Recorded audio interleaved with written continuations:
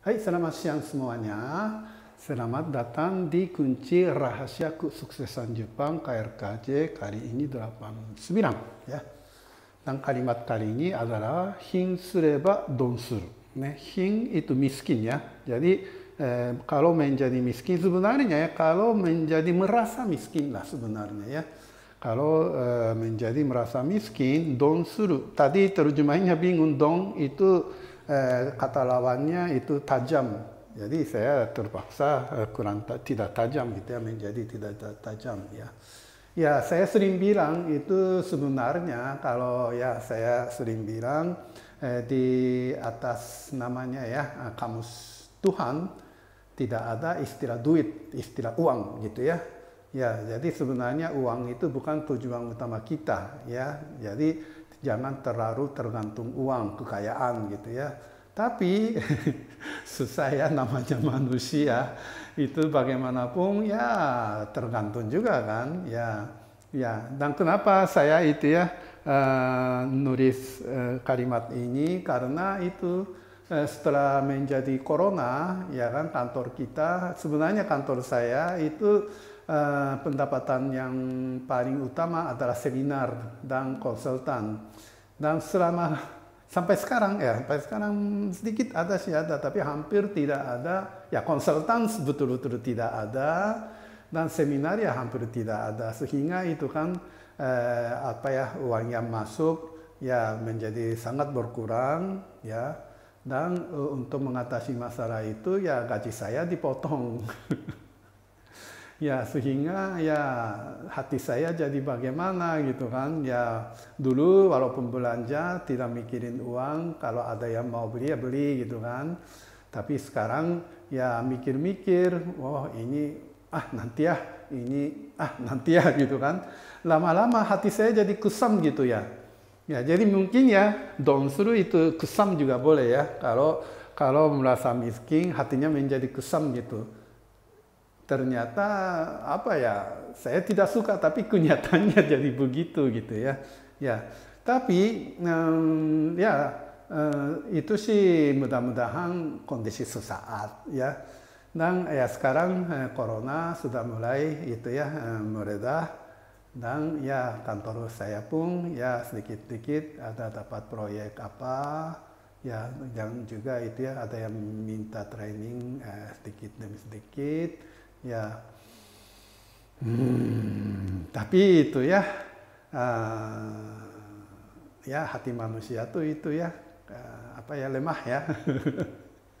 Kalau itu ya merasa miskin ya susah gitu ya.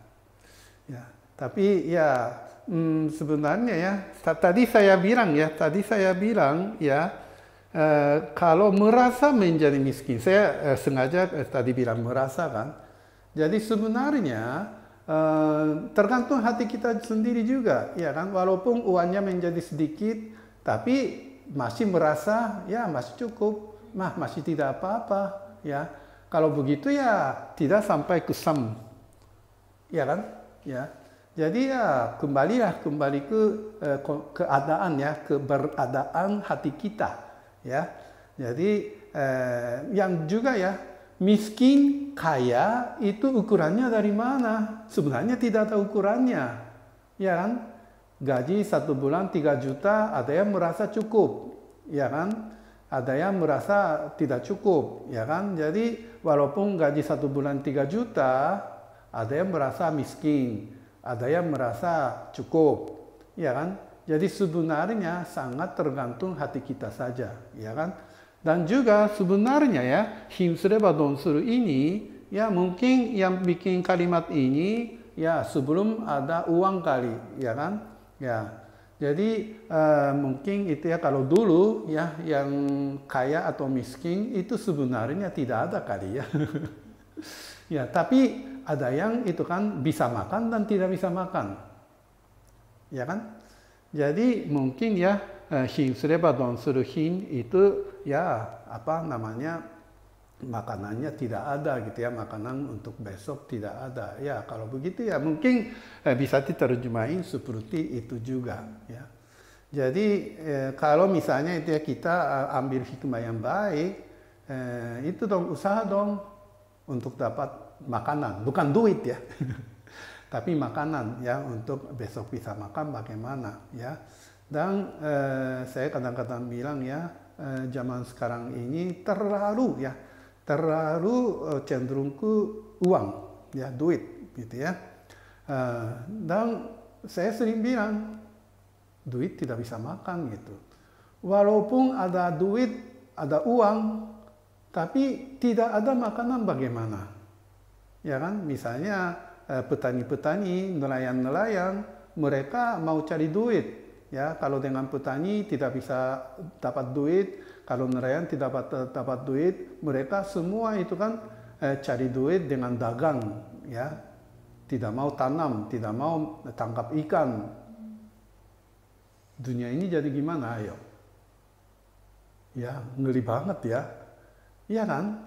Jadi ya mungkin ya sekarang corona seperti ini ya salah satu tanggapan saya adalah Tuhan kasih peringatan. Kamu kamu kalau terlalu cari duit tidak mengindahkan makanan ya kan nanti jadi gimana? Hati-hati loh kamu. Gitu ya. Ya kan? Ya, jadi eh, sebenarnya dengan kondisi corona ini, dengan kesulitan keuangan, dan itu eh, kalau Indonesia ya, kalau Indonesia sih eh, masih mendingan lah. Ya karena tropis, eh, apa namanya tumbuhan-tumbuhan itu bagus ya. Tapi akan tetapi ya, kalau eh, tidak memperhatikan itu ya eh, tanam, pokoknya itu ya nelayan, eh, pertanian dan eh, apa namanya peternakan ya kan. Kalau tidak ada orang yang tidak mengikuti itu bagaimana? Ya dulu siapa Jokowi atau itu uh, pas sebelum Jokowi eh Gus Dur bukan Gus Dur eh SBY ya kan? Uh, lupa SBY atau Gus apa apa uh, Jokowi ya ada yang ke itu kan IPB ya.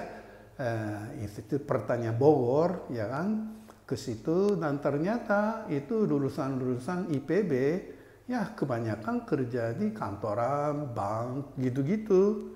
Ya negara ini jadi gimana dong? Iya kan? Jadi sebenarnya kita bisa hidup karena ada makanan. Ya, makanan tidak ada jadi menjadi hinsuru ya, menjadi miskin. Jadi kita ganti paradigma, ya kan? Ya sebenarnya kita bisa hidup bukan ya uang sih uang, tapi walaupun ada uang harus ada makanan, gitu ya. Jadi ya pemerintah juga ya apa eh, sistem negara apa dunia ini ya mungkin ya sekarang harus di apa ya merubahkan lah ya. Jadi sebenarnya uh, apa namanya uh, petani, pokoknya itu ya yang memproduksi makanan, petani, uh, nelayan, peternak itu yang harus dihormati. Ya. Waktu zaman Edo ya, zaman Edo ada istilah shinokosho. Itu catat aja ya. Ya, jadi eh, di mana kelihatan di sini kelihatan ya. Si Eh, tulisannya jelek. Eh, benar nggak sih? Ya, Shinokosho. Si itu samurai ya, eh, prajurit. Dan no itu petani. Ko itu tukang. Sho itu pedangan ini apa namanya uh, tingkatannya. Jadi yang paling hebat adalah prajurit besi, ya kan? Yang kedua adalah petani. Jadi petani itu lebih mementingkan daripada tukang dan pedagang. Justru waktu Edo orang yang paling punya duit kaya adalah pedagang. Ya, orang yang paling miskin adalah prajurit. Ya, prajurit dapat uang dari mana? Ya, dapat uang dari sebenarnya mereka dapat uang tapi dapat beras ya sebenarnya ya. Mereka dapat beras karena petani susah payah ya kan melakukan pertanian gitu ya ya kan jadi sebenarnya uh, waktu zaman Edo ya sebelum restorasi Meiji masih zaman samurai ya waktu itu nenek moyang kita sudah apa ya menggambarkan yang penting adalah makanan gitu loh. Ya. Tapi walaupun ada makanan tidak ada yang mengatur negara ya negara hancur kan? Ya kan? Makanya prajuritnya di, ada di atas petani gitu loh. Ya. Orang yang paling kaya orang yang itu kan eh, paling pintar cari duit justru paling bawa apa kedudukannya. Ya. Itulah sebenarnya filsafat Jepang. Kenapa Jepang damai? Ya sebenarnya ya eh, Jepang eh, itu ya ada yang bilang ya ada yang bilang Eh, Jepang itu ya apa bikin perang dunia kedua atau itu ya uh, sebenarnya uh, perang dunia kedua saya tidak begitu suka judul, judul itu ya. Sebenarnya perang Asia Timur Raya. Ya Asia Timur Raya maksudnya Jepang bikin perang agar negara-negara Asia yang dijajah oleh negara-negara Barat itu dibebaskan itu sebenarnya tujuannya ada di situ ya kan jadi sebenarnya walaupun bikin perang tapi tujuannya apa? Tujuannya perdamaian sebenarnya. Ya, saya menurut saya, menurut saya seperti itu. Ya, jadi saya tetap percaya sebenarnya uh, bangsa Jepang adalah bangsa yang betul-betul mencintai perdamaian. Ya, dan uh, sistem perdamaian atau filsafat perdamaian yang ada di kata-kata Shino Kosho.